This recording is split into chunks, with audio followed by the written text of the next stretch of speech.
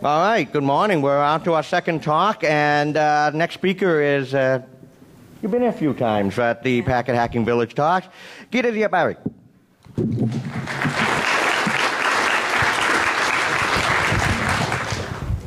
Hi, everyone. Thanks for coming to my presentation. My name is Gita Ziabari. Uh, I'm coming from Verizon, working as a senior consultant engineer software developer. And uh, I'm going to talk about how to tune automation to avoid false positive. So I'm going to talk about techniques to design a reliable automated tool, introducing threat intelligence feeds, and to how, how to avoid false positive when we generate automated tools and feeds. Techniques to design a reliable automated tool. So there are many different reasons that automation is needed in cybersecurity. There are massive amount of data that needs to be analyzed on hourly basis and action is needed. So uh, accelerated response time, consistency, scalability, efficiency, risk reduction, simplified IR process, empowering users, they are all good reasons that we do need to have automation in cybersecurity. However, um, since we have large amount of data and all of us are very much busy, um, bad ideas could lead to false positive, and false positive is always bad, especially in cybersecurity. So automation needs to be done with intelligence. By intelligence, I mean let's just consider creating an automated tool that is pretty much simple to use because uh, no one is going to be interested to learn a new tool that is very much complicated and it is, it's designed to have a lot of, let's say, GUI pages with lots of uh, maintenance and everything that it just like takes a long time. And think about five years, you are creating an automated tool and you move on. If you want to maintain it all the time and something breaks all the time, then it's not going to be usable. Make it user friendly so that uh, the threat researchers who are basically the target to use the uh, automated tool, they buy it and they start using it right away. Um, make it like have some documented uh, does, uh, design framework and think about whoever is going to inherit it, the framework. It might be even open source. You may uh, decide to publish it. So uh, think about those that are going to use and inherit the code. Uh, most of re researchers in cybersecurity and analysts, they already have a framework that they are based on it and they are actually using it. So if you want to say that, yeah, I have this created just like this automated tool, it's pretty cool and it's just like adding these many features to uh, your analyzes and it's so fast and everything, uh, they are going to hesitate using it because they already have something that they are using and switching from one um, source that is actually working to a new one is going to be a bit hard. So uh, make it. We have to put this on you. Sorry. Okay. I do apologize. That's okay. So uh, make it somehow that you guys can hear me. Oh, that's good. That's because I can. that's much better. So uh, make it somehow um, with minimum dependencies. First of all, to other servers. Again, if you want to publish it in GitHub, uh, people who are going to download your tool, they are not going to have the same servers that you have.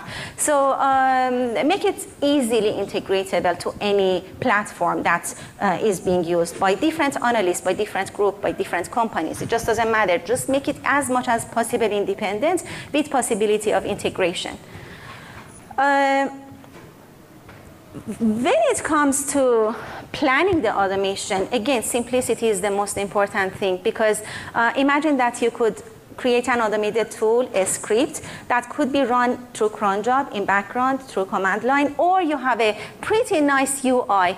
Um, UI, believe me, it just like requires a lot of maintenance, and uh, there are so many patches that you have to just like upgrade. There are so many dependencies, and uh, analysts, they are not going to like it, like threat researchers. They have to just like go to this website, they have to access it, and then they have to uh, log into it. There are so many layers involved. So So just try to make it simple, cron job. If you can do it through cron job, then do it through uh, uh, cron job.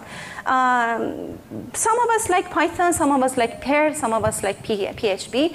If you have a framework that is already designed, let's say doing Python, then stick to Python. And do not just switch because you just get bored from one language and you feel that the other language actually has more um, functionality for doing this tool that you're, for making this tool that you're making make it simple, avoid dependent processes because uh, we all know that when we have dependent processes, if just one of them breaks, then everything is going to be broken. If you're busy working on other stuff, they are going to ask you to fix it and you don't know where to start. What is actually broken to fix it? And if you have to really have um, chain of processes, then uh, use some monitoring systems like Nagios so that it just like start reporting you if something goes down. And if it goes down, make some uh, really, really like easy uh, script, like a line of uh, command. Uh, if it goes down, like if your MongoDB is down, send me the logs, restart it, so that your automated tool is not going to be broken forever till you or someone actually finds out what's going on. In cybersecurity, we are actually lucky developers because we do not have QA in most of cases to QA our code. So that's a good part and a bad part. But we have to be our own QA, especially because we are actually um, having a massive amount of data that needs to be analyzed and performance testing is very important. So make sure to have a platform for yourself for uh, being able to, a test framework actually, to be able to test your own code. That is very, very important. I know that we all do unit testing and feature testing. Performance testing is needed, and we do need to consider it. I just uh, quickly jump to threat intelligence feeds. Uh, that's the area that I was working in the past few years. And uh, by cyber, uh, by uh, threat intelligence, I mean indicator-based threat intelligence feeds, such as domains, URLs, IP addresses, hashes, email addresses and whatever you want to consider as an indicator. So uh, threat intelligence feeds, you can get it from third-party feeds. Like uh, there are some open sources, there are some community-based based on the circle of trust. Uh, commercial ones you have to pay good money, and the government-based, the internal feeds are also valuable. You get feedbacks from analysts. That these are basically the uh, feeds that I could pass you and indicators that I could pass you, uh, or you create some automated data mining tools, or you use the ones that uh, are available and start mining data from the data um, and from the logs that you have. You just generate it. How many of you guys are using threat intelligence feeds? How many of you are happy with the result? None. I was expecting it actually. So the reason is that it's just like poor quality control, overlapped indicators, false positives, noise. It's just like massively creating noise and um, most of the companies they would rather not to use it rather than using it because it's just like generating noise and you don't know where is the source coming or if you can trust it or not now, um, generating high quality feeds is possible, believe me. um, the first first step that you need to take action is actually having a database. Don't take everything from Fly, from different sources, make it to like a JSON or CSV format, and then export it to whoever you want to. Have everything in your database. In that case, you would be able to apply quality, and you have control on the indicators that you're ingesting in the database. What needs to be done is do dupl duplicating, uh, whitelisting, filtering, scoring, and aging. If you are inserting an indicator, check your database and see if it exists in the database. If it does, then update it based on the source, based like aging, scoring, just like um, make some changes, but do not reinsert it. When you want to export the feed, it's very important to also do uh, deduplicating so that you do not have duplicate indicators. Whitelisting, it could be done through third-party sources, it could be done uh, through internally. Uh, third-party sources, there are some sources that are available, like external sources. Some of them are free, some of them you have to pay some money. Uh, most of them are based on the popularity of the indicators. For example, the websites that are being most visited by different countries, they are being introduced as whitelist. Uh, try to scoop out just like the top 1,000. And even if you are considering the top 1,000, um, let's say, domains, still um, apply some filters. Filtering is very important actually in feeds because uh, imagine that the uh, adults uh, content-based domains are also pretty much popular, and some of them are even in the top 50 uh, like indicators. And they are not necessarily good or like trustable; they are just popular. So as quantity increases, consider that the possibility of having false positive also increases.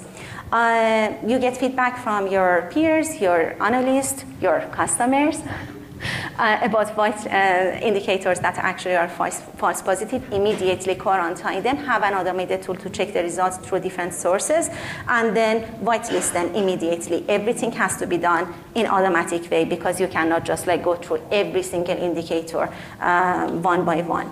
And believe me, one bad indicator could result in many hits, like 100k plus. So when I said that we don't have QA and we have to be our own QA, um, have your framework, the test framework, and start testing your feeds that you're generating. Write a script see the number of matches and have a statistic about the indicators that, you're, uh, that, that are matching a lot of hits. And then quarantine them, analyze them through another source and see if they are actually uh, false positive or they are true positive. Immediately whitelist them. So you get the data, a big amount of data in indicators. You apply whitelisting from any source, internal, external. You have a better data. It's not enough though you do need to do some scoring. So imagine that you're getting, um, you, you're using this many sources, like open sources, different sources, sources coming from your internal or external. And uh, the indicators that are being reported repeatedly through different, different sources, it means that they are actually happening and they have a better chance to be malicious. So their score is actually higher than the ones that uh, are coming from a single source. So they should have a higher score.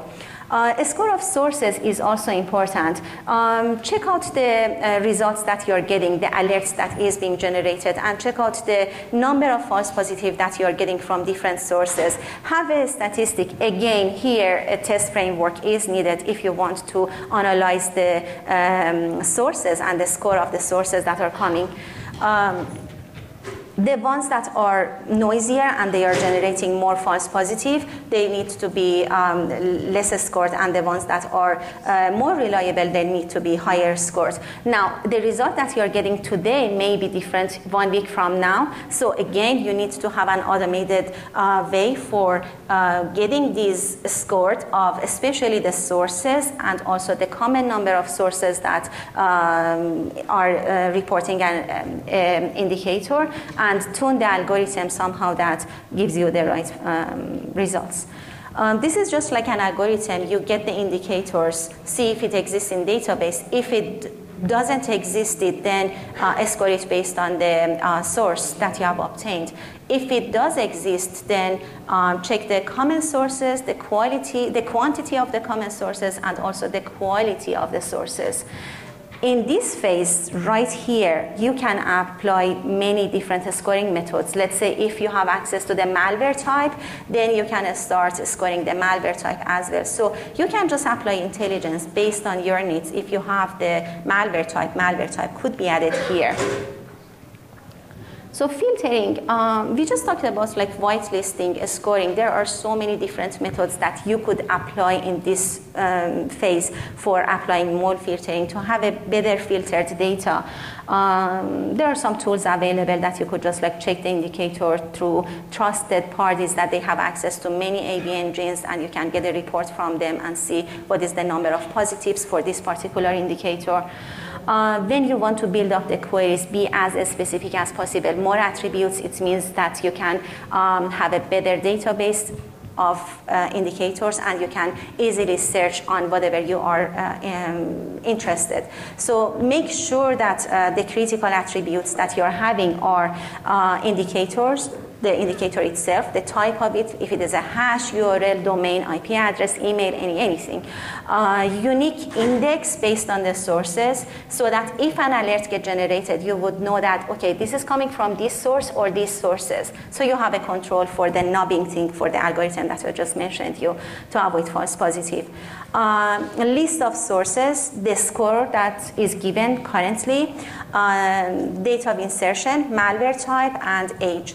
So when it comes to feeds, you cannot say that, okay, I have my feed that I built like a week ago and now it's just like, this is what I have and I'm going to submit it. It needs to be updated. Ingestion should happen in real time and you need to apply the intelligence, the algorithms that we just covered, and export the data at least on hourly basis to have a real time, um, almost real time, I would say, feeds. You could be selective. Now you have the pool of indicators based on different criteria that you defined and the attributes. Now you can select what you are interested and actually interest you. Like if you want to select the type of indicator to be only hash, you can apply it. If you want based on the malware type, then you can just like extract it. If you want combination of the stuff that is happening, let's say the most recent indicators that have been seen through different networks, you can just like uh, extract the information information in the database. Aging is also another thing that is very much important and needs to be considered. Uh, you don't want to save lots of indicator in your database and then um, get um, indicator that is not happening in any database anymore. So as you see the uh, indicators and as you're ingesting the indicators in your database, you need to age them properly and um, set it based on the malware type, based on the scoring, set it some, somehow from like um, 60 days or like a little bit more and then age them out if they are not being seen. So you don't have like something that is not happening uh, in the network anymore um, in your feeds. Um, so as i mentioned like you get your feeds and indicators from different sources from third party sources from internal sources. Um, you do apply some intelligence whitelisting scoring filtering aging and then you can select your feeds based on the criteria that you're interested. Now imagine that you want to have high priority feeds that are actually very critical and needs to be um, taken care of immediately. You can just like have your alerts based on these feeds like very high. You can define medium um, uh, uh, priority feeds or like low confidence and uh, with all these criteria that I just told you, you are going to have a better result, less false positive, selecting true positive, and um, you do need to have aging, uh, aging for having a current uh, indicators and the uh, sort of like a real-time results. Do you have any questions?